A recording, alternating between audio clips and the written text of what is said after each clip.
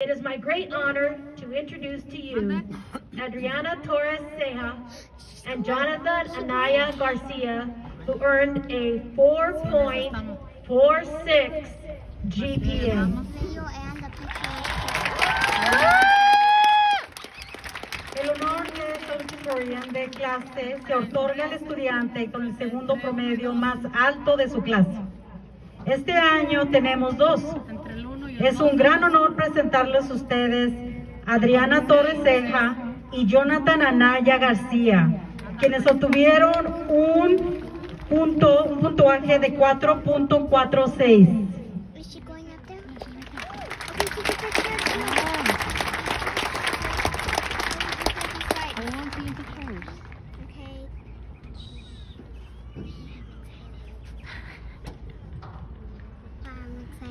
Is she going up there? Okay, take a picture. I won't be in pictures. Okay. Exactly, huh? Do we have to sit here for the whole time? Or Ay, can we del cerebro número uno arrancado de mí.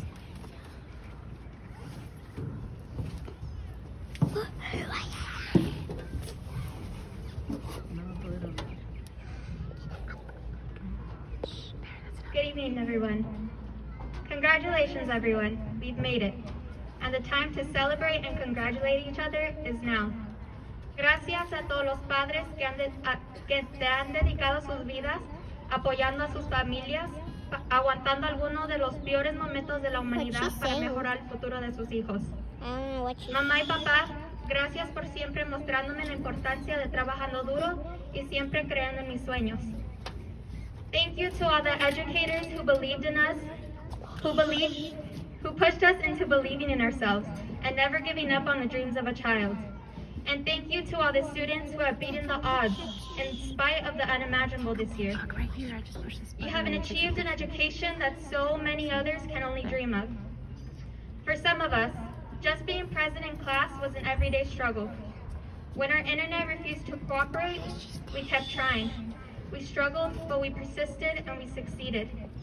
When our siblings needed babysitting and help with their classes, we were there.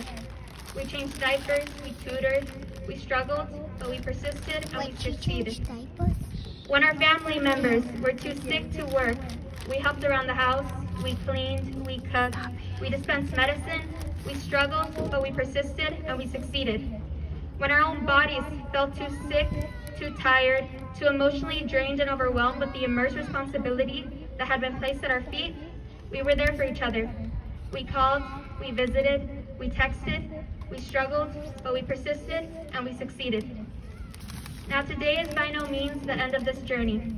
This challenging year has proven to us that we all have the fortitude and the resilience to overcome whatever life will throw at us. It has shown us the power of community and has highlighted many of our community's disparities. The systems of oppression that society has created have separated the collective from the individual. Now, how do we how do we reimagine what our collective efforts look like, and how do we take the steps necessary to rethink our education, our communities, and our future?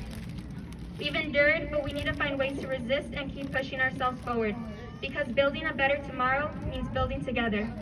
Being a part of this collective whole means treating each other the way we love and care for our children and elders, celebrating and honoring our joint success, and dreaming and working together for the future of our children.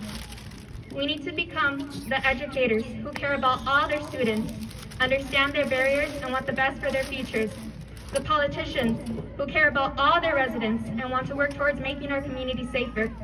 The community organizers who will continue to hold these politicians accountable for their actions as they push for our residents' needs.